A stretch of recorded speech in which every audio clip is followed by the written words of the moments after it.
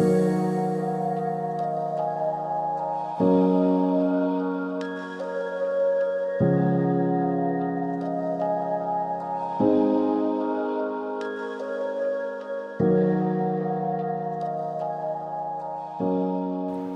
Well, it's Specimen Series time again, and it's something slightly different on this episode. So you find me at Suffolk Water Park. Now, most people who travel over to here fish for the big carp in the lake, but that's not what I'm fishing for on this trip. Like I said, it's something completely different, and I'm hoping to catch a nice big eel for the cameras tonight. I know very little about the stocks of eels in here, but there's definitely some to be caught. It's one of these venues where you have to pre-book your swim prior to arriving, so I've booked peg 10, and I've got a nice big marginal tree to my right which looks good for a bite and then my other two rods will probably be straight out in open water.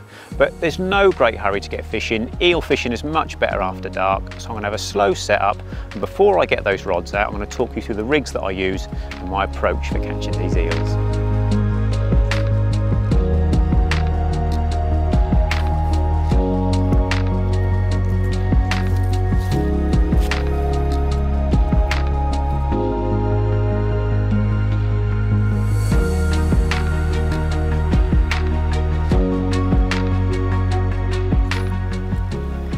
Just about time to get the rods out. But before I do, I'm going to talk a little bit about the hardware that I'm using and more importantly the rigs that I'm using. So I've stepped my rods up slightly in the last couple of years and I now use some 10 foot, 3 pound test curve carp rods. Now they may sound a little bit overgun for eel fishing, but anyone that's hooked a big eel will know exactly how strong they can be. And then on those rods I've got some 6,000 size Shimano bait runners with some nice strong 15 pound line. Now here comes the important bit, the rig itself.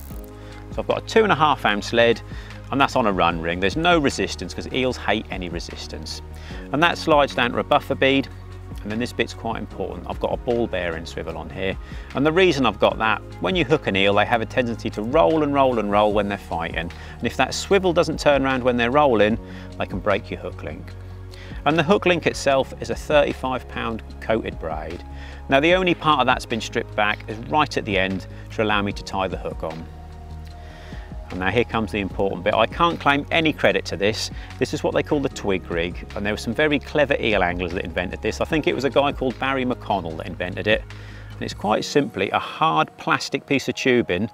And I've put this one between two float stops at the bottom of my hook link. And there's a little gap of maybe half an inch before I reach the hook. And what that twig does, when the eel picks up your bait, he won't take it any further than the bottom of that twig. So it's really important not to deep hook the eels and this pretty much prevents all deep hooking. And on this rod, I've got a quick stop on the end there with a size 8 barbless hook and that is important to use a barbless hook because you want to make unhooking these eels as easy as possible. And on that quick stop I'm going to put a few sections of lobworm and I'm going to fish that over some dead maggots. Once I've cast it out, it's going to be fished on a drop-off alarm with an open bail arm, so there's no resistance whatsoever. So I think I'm going to get this rod out because it's getting close to bite time, and fingers crossed that we get one or two eels through the night.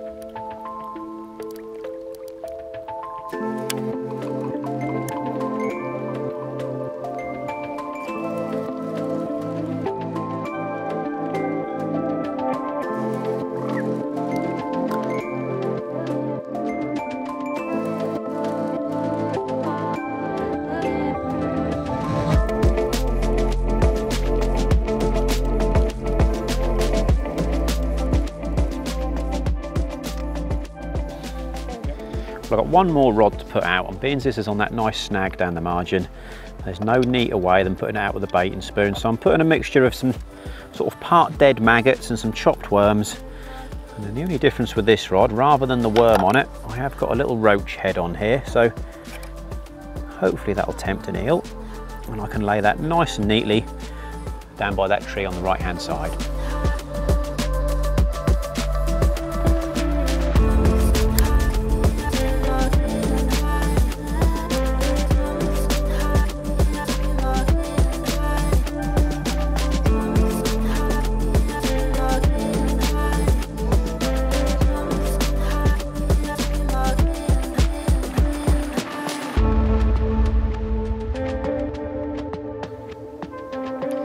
All three rods out nice and neat for the night ahead. And that last rod, as you saw, I put out with the bait and spoon, and I'm becoming a big fan of the bait and spoon. We used it on the series when I fished for big crucians, and I'm convinced it got me a few extra bites. So hopefully, paying a little bit more attention to detail and getting it out with the bait and spoon will catch me a nice big eel. I'm not expecting much to happen until it gets dark. On these big clear gravel pits, they tend to be mostly night bites. Now there'll be a few of you watching this video that think, who in their right mind would fish for eels? But for me as an all-round angler, they are the holy grail. A really big eel is such a rare fish. And the story behind them as well, I think it's claimed that they have to be about 10 years old to weigh one pound in weight. So if you bump into a fish that's five or six pound, a really big one, it's potentially 50 or 60 years old. So they, there's a little bit of mystery left in eel fishing. An eel of any size could turn up tonight and a giant eel can turn up in a farm pond or a giant reservoir and it's just having something a little bit exciting. When that drop off falls off, the ifs, buts and maybes and what might happen. So I'm happy with those three rods. It's time to chill out now and wait for the sun to go down and hopefully we'll soon have an eel to show you.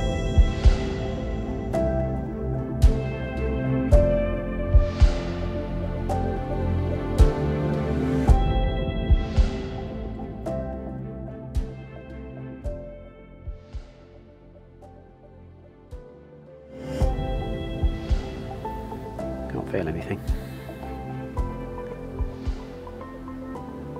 I'm to give it a go anyhow. Never know. Could be a five pounder hanging on the end. Well, there is one on there, yeah. Well, that first bite took a bit longer than I thought, but doesn't feel like a monster. It's definitely an eel.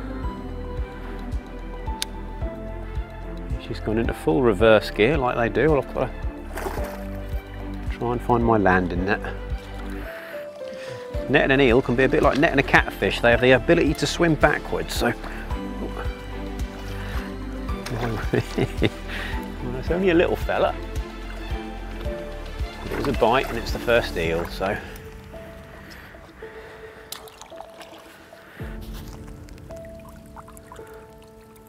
Nice.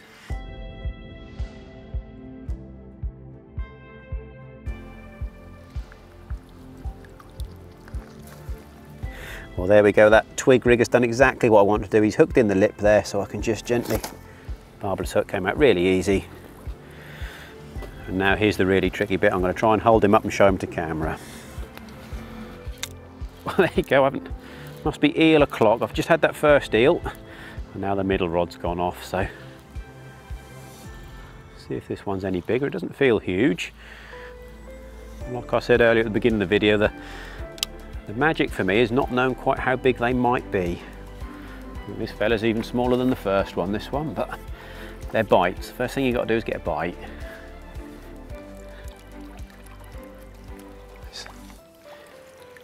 Well, that first bite took a bit longer than I expected, and well, it must be eel o'clock. So I've had a bite on one rod, and we've literally just got that first eel in, and the middle rod's gone as well. So I'm going to do my best to try and show one of these to the camera, but it seems as if the bigger the eel, the better they behave. And these aren't big eels, these are very average size eels, but the first thing you've got to catch, or the first thing you've got to get is a bite. So this is uh, one of the little fellas. And they are probably up there with grayling for uh, trying to show them a camera. They just don't keep still. But if we are fortunate enough to get a bigger fish, you will see that the bigger ones do behave a little bit better. They're a similar size. One's a little bit bigger than the other, but I'm quite keen to get those rods back out because we are now into the prime bite time. I'm going to slip these little fellas back. Think they are really interesting creatures. I know they're not everyone's cup of tea. I quite like them.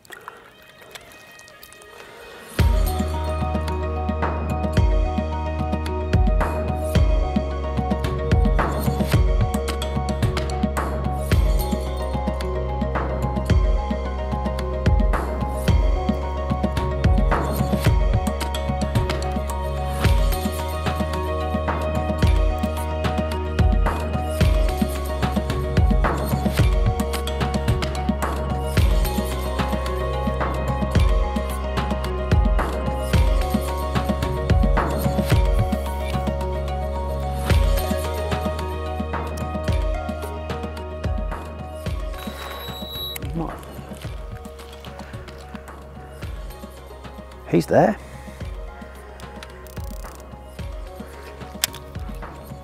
Oh, there we are, there's another bite. I then starting to doze off. This one actually feels a little bit better, but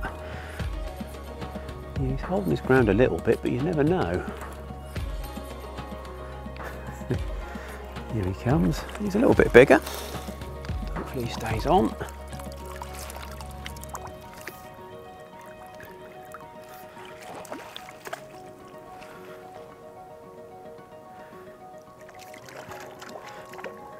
Sort of reverse away from you, then they shoot towards you when they stop swimming. There we go. This is why you use a nice big carp net because it just makes it a bit easier to persuade them to go in. Come on, mate. Nice. Well, how about that? That's a much better eel. That one, that rod that I underarmed back out in the dark has clipped out and we've got, well, I'd say this is probably over three pound. This one, it feels quite a bit bigger than those first two. And it is noticeable, this is one of the eels with the wider heads. And they do say that the wider headed eels prefer the dead baits and the narrow headed eels eat the baits like the worms and the maggots. So I'm really pleased with this one. That's definitely progress. And I apologise if there's lots of flies in front of the camera because they love that light. But this one is quite well behaved. So I'll take a minute to enjoy looking at it, then I'll get that rod back out.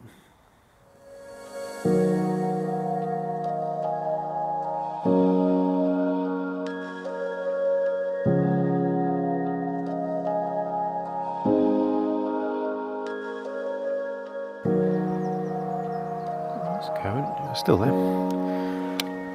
Well, hopefully there'll be one there. It's just clipped that at first light, so here we go. Yeah, we're into something. It doesn't feel enormous, but it's nice to get a bite in the daylight.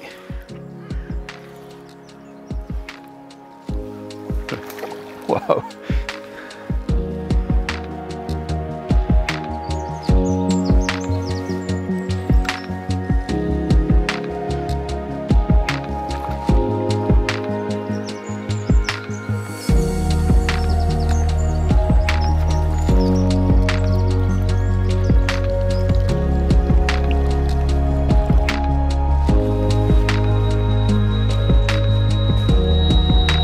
Hello, was this one?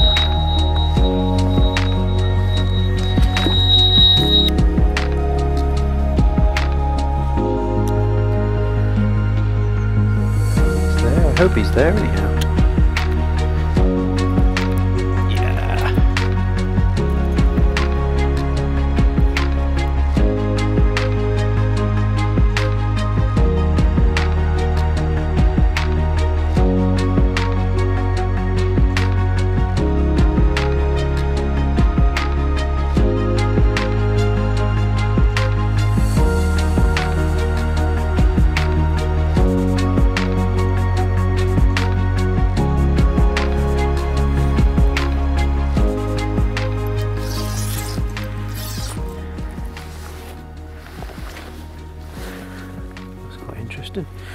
Perch. Well, you have to excuse me if I'm a bit blurry-eyed this morning. That was a fairly restless night for me. I had clip outs all through the night and I've had quite a hectic spell in the early hours. So they're quite a difficult fish to capture the moment on camera. So I've held on to a few fish that I caught just before it got light this morning. So wish me luck. I'm gonna try and pick one of these up to show to the camera. There's nothing huge in here, but there's certainly some quite nice eels about that fella. There's two or three about that size. And I must admit, if, if this has convinced you to try the dark art of eel fishing, I can't recommend that twig rig enough. Every one of these eels that I caught last night were all lip hooked, which is really important. So I'm gonna pop these fellas back. I've got a lot of slimy fishing gear to pack away. But if you like this video, be sure to give it a like. And if you don't want to miss any of my future specimen series, don't forget to subscribe to our channel.